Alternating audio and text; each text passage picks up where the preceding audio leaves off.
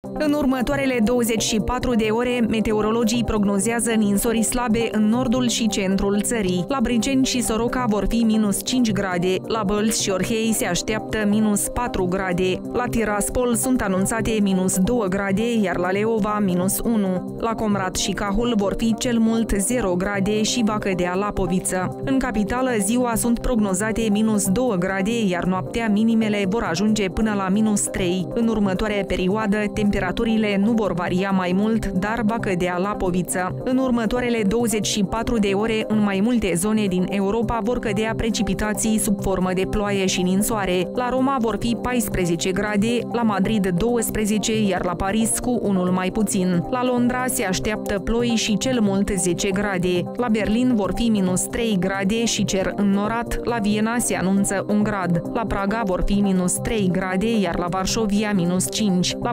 Budapesta sunt prognozate 4 grade și la Belgrad 8. La București va cădea Lapoviță și vor fi cel mult 2 grade. La Atena se vor înregistra 17 grade, iar la Kiev minus 3. La Moscova se așteaptă ninsori și minus 5 grade. La Ankara maximele nu vor depăși 5 grade Celsius.